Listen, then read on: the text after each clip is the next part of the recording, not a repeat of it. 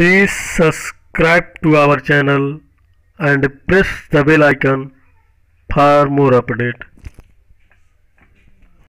Hello दोस्तों welcome to OD study point स्वागत है आप सभी का अपने YouTube channel OD study point में सो so, दोस्तों जैसा कि आपको पता है कि हमारे चैनल ओडी स्टडी पॉइंट पर मैथ और रीजनिंग की ऑल कम्पिटेटिव एग्ज़ाम के लिए क्लासेस चलाई जाती हैं जिसमें दोस्तों आज मैथ का रेशियो एंड प्रोपोर्शन यानी कि अनुपात और समानुपात का पार्ट टू लेकर आया हूँ। सो दोस्तों, इस वीडियो में यानी कि अनुपात और समानुपात के पार्ट टू में मैंने पाँच टिक और पाँच कॉन्सेप्ट के साथ दस क्वेश्चन लेकर आया हूँ, जिसमें प्रत्येक ट्रिक और प्रत्येक कॉन्सेप्ट पर दो क्वेश्चन है दोस्तों।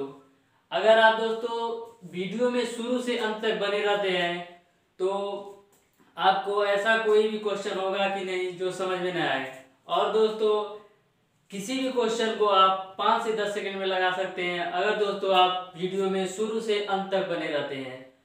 और दोस्तों, अगर आपने अभी तक हमारे वीडियो को शेयर नहीं किया है तो सबसे पहले शेयर कर दीजिए। और हमारे चैनल ओडी स्टडी पॉइंट को सब्सक्राइब नहीं किया है तो सब्सक्राइब कर ले। सो दोस्तों स्टार्ट करते हैं।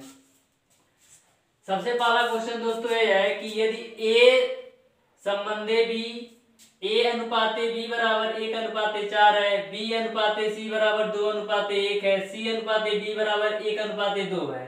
डी अनुपाते ई बराबर तीन अनुपाते दो है तो ए अनुपाते बी अनुपाते सी अनुपाते डी अनुपाते ई का मान ज्ञात करना है। इस क्वेश्चन को दोस्तों कैसे सॉल्व करेंगे? सो दोस्तों, ध्यान से देखिएगा। हमको क्या ज्ञात करना है? ए अनुपाते बी अनुपात सी अनुपात डी अनुपात ई तो सबसे पहले इसको नोट डाउन कर लीजिए यहाँ पर नोट कर लेंगे ए अनुपाते बी अनुपाते सी अनुपाते डी अनुपात ई ऐसे आपको नोट कर लेना है। फिर ए अनुपाते बी कितना दिया? एक अनुपात चार। तो यहाँ पर एक रख दीजिए और इसके जगह पर चार रख दीजिए। फिर दिया है बी अनुपाते सी बराबर दो अनुपाते एक तो बी के जगह पर दो और सी के जगह पर एक, ऐसे रखना है। फिर सी अनुपाते डी बराबर एक अनुपाते दो। तो सी अनुपाते डी बराबर एक अनुपाते दो रख दीजिए। फिर बोला है, डी अनुपाते ई बराबर तीन अनुपाते दो। तो तीन अनुपाते दो रख दीजिए।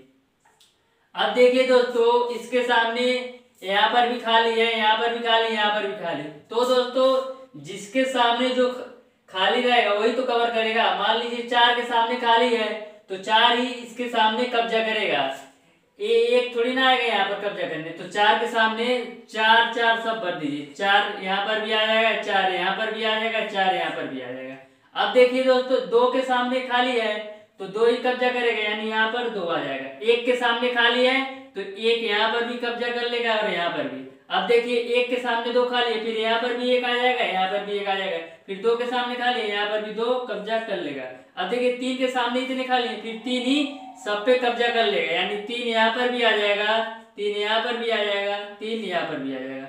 अब मल्टीप्लाई कर दीजिए। एक गुड़े दो दो दो एक कम दो तिया छ अनुपाते फिर चार दूना आठ एकम आठ त्रिक चौबीस। अनुपाते फिर चार एकम चार एकम चार तिया बारह। अनुपाते चार एकम चार, दूना आठ त्रिक चौबीस। अनुपाते चार एकम चार दुना आठ दूना सोलह। इस तरीके से आपने देखा दोस्तों कि ए अनुपाते, बी अनुपाते, सी अनुपाते, डी अनुपाते, ई बराबर छह अनुपाते, चौबीस अनुपाते, बारह अनुपाते, चौबीस अनुपाते, सोलह आ गया। इसको आप मिनिमाइज भी कर सकते हैं। तो दो से सबको कैंसिल कर दीजिए, क्या होगा? दो से अगर कैंसिल करेंगे तो आपका होगा तीन अनुपाते, बारह अनुपाते छ अनुपाते बारह अनुपाते बारह अनुपाते, फिर होगा आपका क्या? आठ। इस तरीके से आपका ए अनुपाते, बी अनुपाते, सी अनुपाते, डी अनुपाते, ई बराबर तीन अनुपाते, बारह अनुपाते, छह अनुपाते, बारह अनुपाते, आठ आ जाएगा। अब दोस्तों हम लेंगे दूसरा क्वेश्चन। क्वेश्चन नंबर टू, किस तरीके से लगाना है, उसको ध्यान से देखिए। क्वेश्चन नंबर टू देखिए, जैसा कि बोला गया है कि ए अनुपाते बी बराबर दो अनुपाते पाँच है।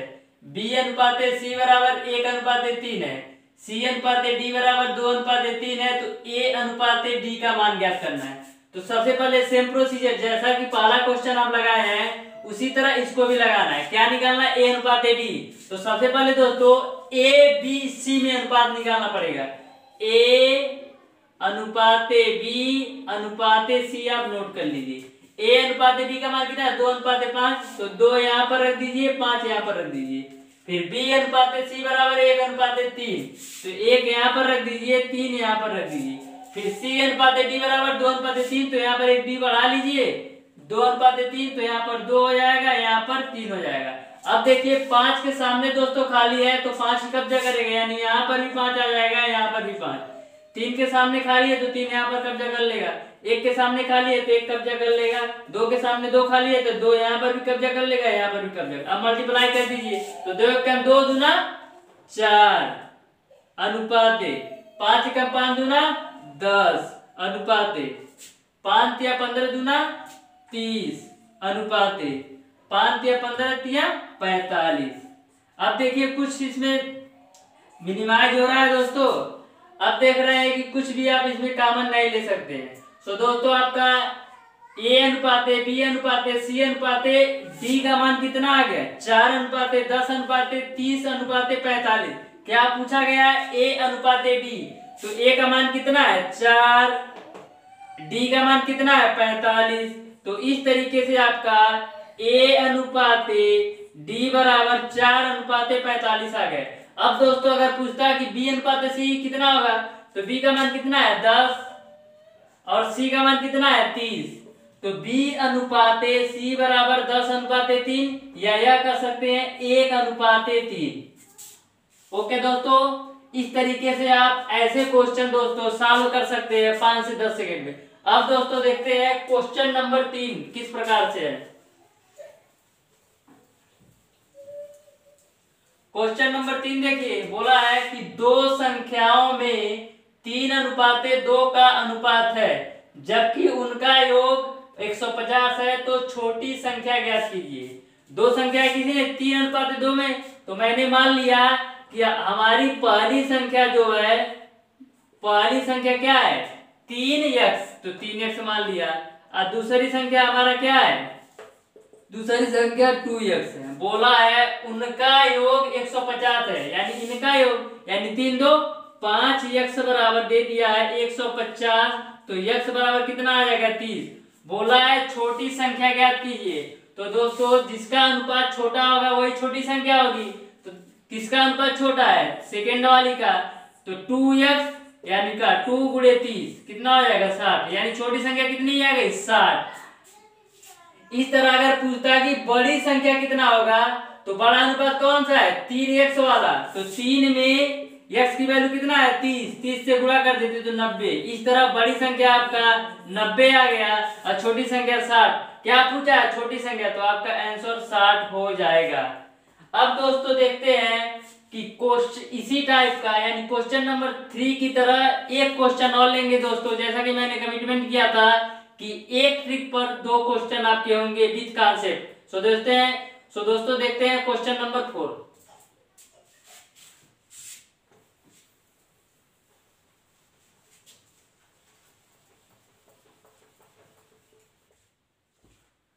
सो दोस्तों, देखते हैं question number four same concept पर.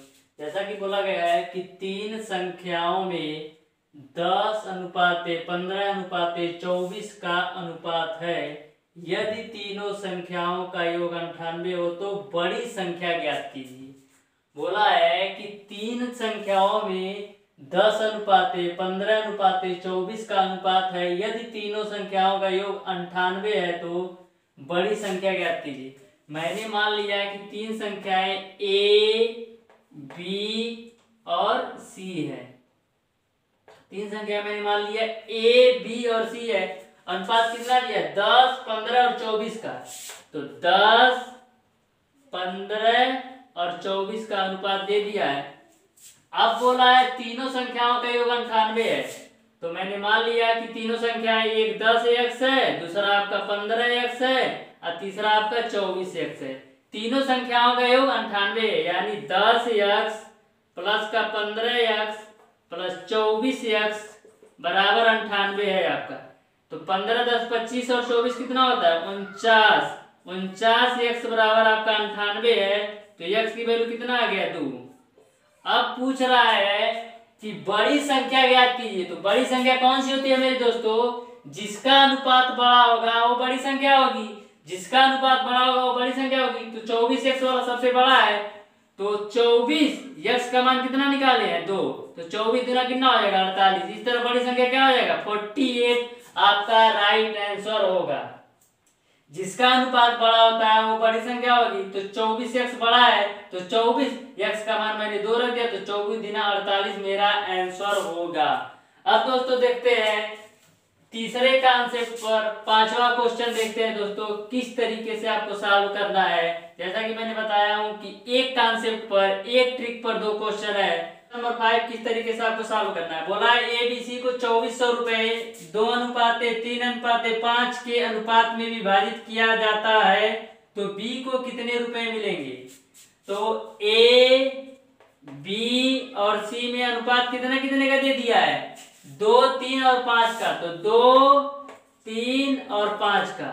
अब मान लीजिए ए को टू एक्स है, मिला है, और बी को थ्री एक्स मिला है, और सी को पाँच एक्स मिला है। इनके बीच अनुपात फिर बोला है, चौबीस सौ रुपए को बांटा जाता है। यानी two x plus three x plus five x का जो टोटल का योग है, वो चौबीस सौ के बराबर है। तो कर दीजिए two x plus three x plus का फाइव एक्स बराबर चौबीस सौ है।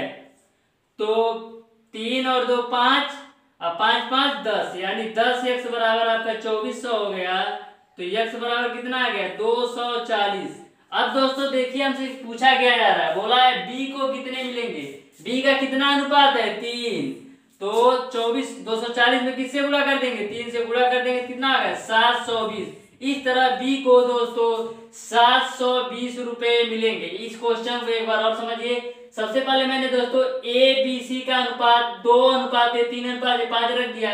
फिर मैंने देख, माना कि ए को मान लीजिए टू एक्स मिलता है बी को मान लीजिए थ्री एक्स मिलता है सी को पाँच एक्स मिलता है। बोला है चौबीस सौ रुपए में सबको बांटा जाता है। यानी कि two x plus three x plus five x बराबर चौबीस सौ है।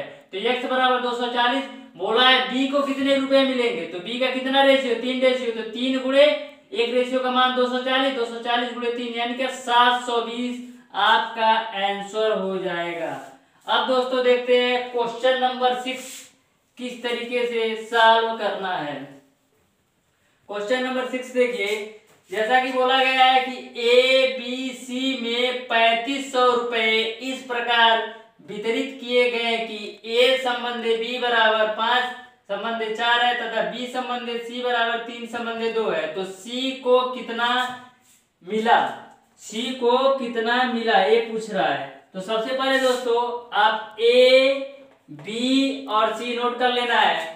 फिर देखिए ए संबंधी बी बराबर कितना है? पाँच, संबंधी चार तो पाँच और चार यहाँ पर नोट कर लेना है। फिर बोला है बी संबंध सी बराबर तीन संबंध दो तो यहाँ पर तीन और दो नोट कर लेना है। अब देखिए, चार के सामने खाली है तो चार यहाँ पर कब्जा कर लेगा, तीन के सामने खाली है तो तीन यहाँ पर कब्जा कर लेगा। अब दोस्तों, पाँच तिया पंद्रह हो गया, अनुपात। यहाँ पर अनुपात का चिन्ह लगा दीजिए। चार तिया बारह हो गया, अनुपात। चार दूना आठ। इस तरीके से ए का अनुपात पंद्रह हो गया बी का अनुपात बारह हो गया सी का अनुपात आठ हो गया। बोला है पैंतीस सौ रुपए में सबको बांटना है तो कितना हो जाएगा? पंद्रह एक्स प्लस का बारह एक्स प्लस का आठ एक्स बराबर पैंतीस सौ। यानी पंद्रह और बारह कितने होते हैं? पंद्रह और बारह सत्ताईस और आठ पैंतीस। तो हो जाएगा पैंतीस एक्स बराबर आपका हो जाएगा पैंतीस सौ। तो एक्स बराबर आपका कितना आ गया? सौ।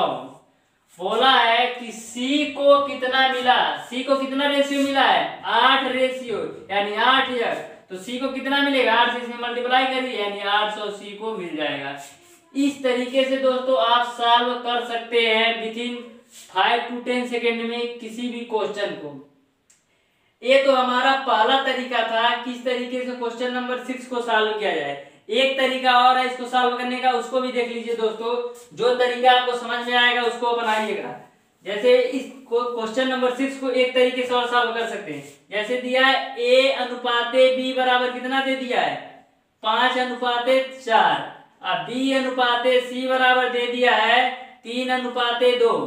अब देखिए दोस्तों बी का अनुपात यहाँ पर चार है। बी का अनुपात यहाँ पर तीन है। दोनों में सेम होना चाहिए तो दोनों में सेम करने के लिए क्या करेंगे? इसमें तीन से गुणा कर देंगे और इसमें चार से गुणा कर देंगे। गुणा इसलिए कर रहा हूँ कि बी की वैल्यू दोनों जगह सेम हो जाए। तो देखिए सेम हो गया। चार तिया बारह यहाँ पर भी, चार तिया बारह यहाँ पर भी। तो पाँच तिया पंद्रह बट्टे बारह बराबर चार दिया बारह बट्टे आठ। अब देखिए दोस्तों ए बी सी का अनुपात क्या आ गया? ए बी सी का अनुपात क्या आ गया? ए का अनुपात पंद्रह बी दोनों में कॉमन है तो बारह हो जाएगा। अस्सी का अनुपात कितना है? आठ। तो हो जाएगा आपका पंद्रह पंद्रह एक्स प्लस बारह एक्स प्लस आठ एक्स बराबर हो जाएगा पैंतीस सौ। तो पैंतीस एक्स बराबर पैंतीस सौ हो जाएगा। एक्स बराबर आपका आ जाएगा सौ। बोला है सी को कितना मिलेगा? सी का कितना रेशियो आठ रेशियो तो एक रेशियो कह सकते हैं, या एक्स बराबर सौ है तो आठ एक्स बराबर कितना हो जाएगा? आठ सौ। सो दोस्तों, चाहे इस कॉन्सेप्ट से लगाइए, चाहे उस कॉन्सेप्ट से लगाइए, दोनों के आंसर सेम आएँगे। तो मैंने दोस्तों दोनों तरीके बता दिए हैं, जो तरीका आपको समझ में आए, उसको आप यूज़ कर सकते हैं। अब दोस्तों देखते हैं क्वेश्चन नंबर सेवन किस तरीके से उसको सॉल्व करना है और उस पर ट्रिक कौन सा काम करता है, उसको देखते हैं। सो so, दोस्तों देखते हैं क्वेश्चन नंबर सेवन किस प्रकार से आपको सॉल्व करना है? क्वेश्चन नंबर सेवन और क्वेश्चन नंबर एट दोनों दोस्तों सेम कॉन्सेप्ट सेम ट्रिक पर है। अगर दोस्तों आप क्वेश्चन नंबर सेवन अच्छी तरीके से समझ लेते हैं तो क्वेश्चन नंबर एट आप अपने आप लगा सकते हैं। सो so, दोस्तों देखते हैं कैसे इसको सॉल्व करना है। जैसा कि बोला गया है एक थैले में एक रुपया पचास पैसा पच्चीस पैसों के सिक्कों की संख्या एक अनुपाते चार अनुपाते चार के अनुपात में है। यदि उनका कुल मूल्य दो सौ रुपया है तो पच्चीस पैसे के सिक्कों की संख्या बताइए। तो सबसे पहले दोस्तों, आपको मान लेना है कि माना कि एक रुपया पचास पैसा और पच्चीस पैसे, एक रुपया पचास पैसा, पच्चीस पैसे के सिक्कों का अनुपात। के सिक्कों का अनुपात। किसमें है आपका? किस अनुपात में है? एक अनुपात चार अनुपात चार में इसको लिख सकते हैं। एक्स अनुपात चार एक्स अनुपात चार एक्स अब दोस्तों देख रहे हैं आपकी टोटल वैल्यू रुपए में दिया है, दो सौ रुपया। तो सबसे पहले ए रुपया है तो इसको एक्स ही रहने दीजिए। अब देखिए, चार एक्स है, लेकिन ये किसकी वैल्यू है? पचास पैसे की। तो पचास पैसे को रुपए में चेंज करने के लिए क्या करते हैं? इसमें दो से डिवाइड कर दिया, फिर प्लस ये चार एक्स किसका है? पच्चीस पैसे का। तो पच्चीस पैसे एक बट्टे चार रुपए के बराबर होता है कि नहीं? मतलब एक रुपए का चौथा भाग तो पच्चीस पैसा होता है तो इसको चार से मैंने डिवाइड कर दिया। बराबर है दो सौ। अब सोच रहे होंगे कि ऐसा क्यों किया जा रहा है? ऐसा इसलिए हुआ दोस्तों, क्योंकि ये टोटल वैल्यू आपका जो है, कुल मिला के जो रुपए है वो रुपए में दिया है, इसलिए हमको पचास पैसा और पच्चीस पैसा दोनों को रुपए में चेंज करना पड़ा। तो पचास पैसे के रुपए में चेंज करने के लिए मैंने दो से डिवाइड किया, अब पच्चीस पैसे के रुपए में चेंज करने के लिए मैंने चार से डिवाइड किया, क्योंकि एक रुपए में पचास पैसे के दो दो पार्ट होते हैं और एक रुपए में पच्चीस पैसे के चार पार्ट होते हैं। अब इसको सॉल्व कर लीजिए, चार से चार कैंसिल दो से दो गुना चार। तो हो जाएगा x plus two x plus x बराबर आपका हो गया दो सौ। तो यहाँ से दो एक तीन और एक चार। चार एक्स बराबर आपका हो गया दो सौ। तो यक्स बराबर आपका यहाँ कितना आ गया? पचास। यक्स की वैल्यू कितना आ गया? पचास। बोला है पच्चीस पैसे के सिक्कों की संख्या कितनी है? पच्चीस पैसे का अनुपात कितना है? चार एक। तो पच्चीस पैसे के सिक्के की संख्या कितनी हो जाएगी? चार गुड़े पचास, यानी कि दो सौ आपका हो जाएगा। यही आपका आंसर हो जाएगा। दोस्तों, अगर आप अच्छे तरीके से दोनों क्वेश्चन देख लेते हैं तो ये मानने की कोई ज़रूरत नहीं है। आप माइंड में ही सेट कर सकते हैं कि x प्लस चार एक्स प्लस चार एक्स इसको डायरेक्ट सॉल्व कर सकते हैं। तो दोस्तों, मैंने समझाने के लिए ये सब आपको लिख कर दिखाया है। अब दोस्तों सेम कॉन्सेप्ट पर आप देखते हैं क्वेश्चन नंबर एट जो कि क्वेश्चन नंबर सेवन की तरह ही सॉल्व करना है। अब देखते हैं question number eight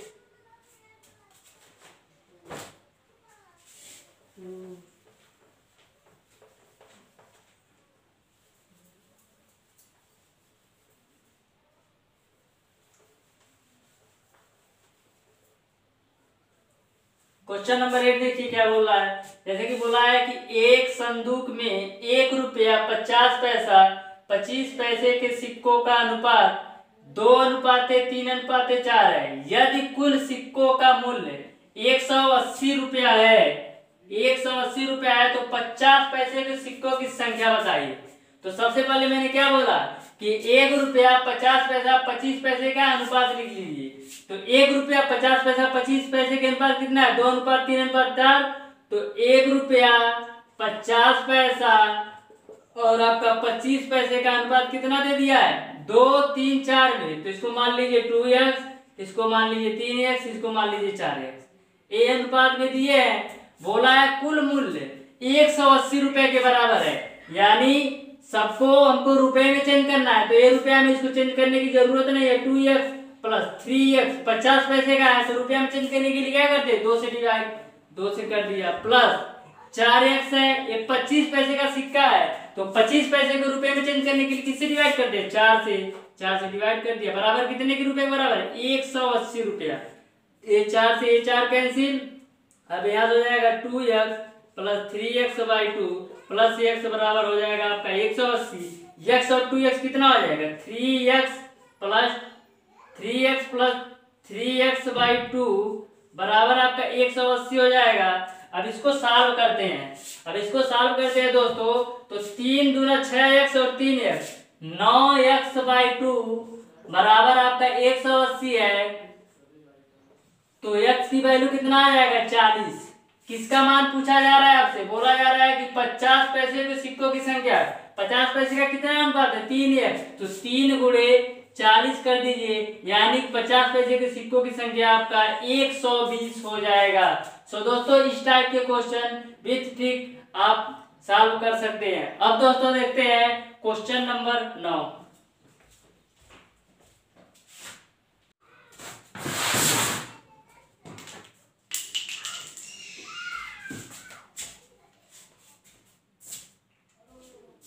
सो so, दोस्तों देखते हैं क्वेश्चन नंबर नौ और क्वेश्चन नंबर दस। क्वेश्चन नंबर नौ और क्वेश्चन नंबर दस सेम कॉन्सेप्ट पर दोनों ही क्वेश्चन है, जो कि इस पे मैं लड़ाई कंसेप्ट का यूज़ करके दोनों क्वेश्चन लगाऊँगा। अगर दोस्तों आप क्वेश्चन नंबर नौ ध्यानपूर्वक समझ लेते हैं तो क्वेश्चन नंबर दस आसानी से आप सॉल्व कर सकते हैं। सो दोस्तों, देखते हैं कैसे सॉल्व करना है। जैसा कि बोला गया राम और श्याम की आय में तीन अनुपात दो का अनुपात है, तथा उनके व्यय में दो अनुपात एक का अनुपात है। यदि प्रत्येक चार हज़ार बचाते हैं तो राम की जाए। तो सबसे पहले एक राम है, और दूसरा आपका श्याम है। आय का अनुपात कितना दे दिया है? तीन अनुपाते दो। तो तीन अनुपाते दो यहाँ पर आपको नोट कर लेना है। फिर व्यय का अनुपात, दो अनुपात एक तो व्यय का अनुपात कितना दे दिया है? दो अनुपात एक। फिर प्रत्येक चार हज़ार बचाते हैं, यानी राम भी चार हज़ार बचाता है और श्याम भी चार हज़ार बचाता है। एक बात हमेशा ध्यान में रखना है कि हमेशा और हमेशा ऊपर वाले रेशियो से आप यूज़ करके किसी भी चीज़ को ज्ञात करते हैं। ऊपर वाले रेशियो का उपयोग करके किसी भी क्वेश्चन के, चाहे कुछ भी पूछा रहा है, उसको ज्ञात करते हैं। तो सबसे पहले दोस्तों, इस क्वेश्चन को कैसे सॉल्व करना है? सबसे पहले रेशियो का रेशियो से कंपेयर कराइए। यानी तीन का गुणा एक में करेंगे तो तीन आएगा, फिर दो का गुणा दो में कराएँगे तो चार। तो चार में से तीन घटाएँगे कितना? एक रेशियो हमेशा बड़ी वैल्यू में से छोटी वैल्यू घटाना जैसा कि तीन एक कम तीन, और दो दूना चार। तो चार में तीन घटाएँगे एक। यानी एक रेशियो बराबर चार हज़ार गुणे एक, चार हज़ार चार चार हज़ार गुणे दो, आठ हज़ार। तो आठ हज़ार में चार हज़ार घटाएँगे तो चार हज़ार। यानी एक रेशियो की वैल्यू आपका चार हज़ार आ गया। बोला है, राम किया है। राम का कितना रेशियो मिल रहा है? तीन रेशियो तो एक रेशियो बराबर चार हज़ार तो तीन रेशियो बराबर कितना आ जाएगा? बारह हज़ार। इस तरीके से राम की आय बारह हज़ार हो जाएगी। फिर से एक बार देखिए कैसे सॉल्व करना है। सबसे पहले मैंने बताया दोस्तों कि राम और श्याम दो लोग हैं। उनके आय का अनुपात तीन अनुपात दो का है, उनके व्यय का अनुपात दो अनुपात एक का है। राम भी चार हज़ार बचाता है, श्याम भी चार हज़ार बचाता है। और दोस्तों एक बात ध्यान में रखना है, चाहे क्वेश्चन में कुछ भी फाइंड आउट करना है, कुछ भी ज्ञात करना है, हमेशा ऊपर वाले रेशियो को लेना है। तो सबसे पहले रेशियो का रेशियो से रेशियो का रेशियो से आप कराइए तो तीन गुड़े एक तीन, और दो गुड़े दो चार। चार में से तीन घटाएँगे तो एक, यानी कि एक रेशियो बराबर चार हज़ार का गुड़ा एक में करेंगे तो चार हज़ार, और दो का गुड़ा चार हज़ार में करेंगे तो आठ हज़ार। आठ हज़ार में से चार हज़ार घटाएँगे तो चार हज़ार। इस तरह एक रेशियो बराबर चार हज़ार आ गया। तो बोला है, राम किया है। राम को कितना रेशियो मिल रहा है? तीन रेशियो तो तीन रेशियो बराबर बारह हज़ार। एक रेशियो बराबर चार हज़ार तो तीन रेशियो बराबर बारह हज़ार। सेम कॉन्सेप्ट पर इसी तरह क्वेश्चन नंबर दस भी है। अगर इसमें आपको कुछ भी कंफ्यूजन है तो क्वेश्चन नंबर दस में आप उसको सीख जाएँगे। सो दोस्तों देखते हैं क्वेश्चन नंबर दस को किस तरीके से सॉल्व करना है। इसी कॉन्सेप्ट पर, लड़ाई कॉन्सेप्ट का यूज़ करेंगे क्वेश्चन नंबर दस पर, क्योंकि क्वेश्चन नंबर नौ और क्वेश्चन नंबर दस सेम कॉन्सेप्ट पर है। तो बोला गया है, यदि ए व बी की आय का अनुपात पाँच अनुपात तीन है, जबकि उनके व्यय का अनुपात नौ अनुपात पाँच है। यदि वे क्रमशः तेरह सौ और नौ सौ बचाते हैं तो बी की आय बताइए। कौन कौन से लोग हैं? एक मिस्टर ए है और एक बी है। उनके आय का अनुपात दे दिया है पाँच अनुपात तीन। पाँच अनुपात तीन। फिर उनके व्यय का अनुपात कितना दे दिया है? नौ अनुपात पाँच उनके व्यय का अनुपात दे दिया है। बोला है, यदि वे क्रमशः तेरह सौ और नौ सौ बचाते यानी का ए जो है नौ सौ सॉरी ए जो है तेरह सौ बचाता है और बी जो है नौ सौ बचाता है। तो सॉल्व कर लीजिए। जैसा कि मैंने आपको बताया कि रेशियो का रेशियो से, यानी पाँच का पाँच में पच्चीस और नौ का तीन में सत्ताईस तो सत्ताईस में से पच्चीस घटाएँगे तो दो रेशियो तो दो रेशियो बराबर कितना आ जाएगा? तेरह का गुणा पाँच में कराएँगे तो पैंसठ सौ, और नौ का गुणा नौ सौ में कराएँगे तो नौ इक्यासी सौ।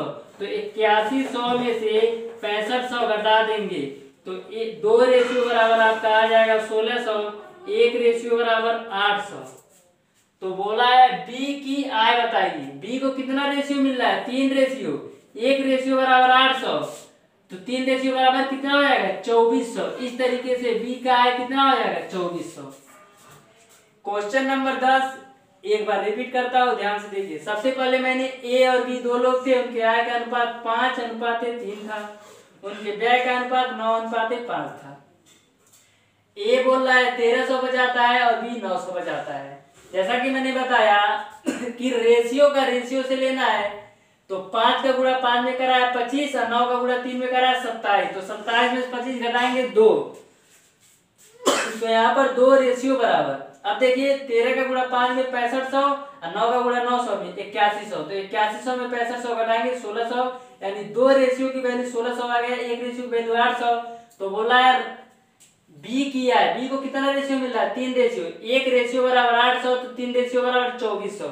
इस तरीके से बी की आय चौबीस सौ हो जाएगा। तो दोस्तों, ये मैंने बताया। रेशियो एंड प्रोपोर्शन के पाँच कॉन्सेप्ट और हर एक कॉन्सेप्ट पर दो क्वेश्चन सो दोस्तों, अगर वीडियो को आप शुरू से लास्ट तक देखते हैं तो रेशियो एंड प्रोपोर्शन के ऐसे क्वेश्चन किसी भी एग्ज़ाम में आपके छूटेंगे भी नहीं और मिनिमम पाँच से दस सेकेंड में आप किसी भी को ऐसे क्वेश्चन को सॉल्व कर सकते हैं. सो दोस्तों, अगर वीडियो अच्छा लगे तो ज़्यादा से ज़्यादा लाइक शेयर और सब्सक्राइब कीजिए और हमारे चैनल से जुड़े रहने के लिए हमारे चैनल ओटी स्टडी पॉइंट को ज़रूर सब्सक्राइब करें। धन्यवाद।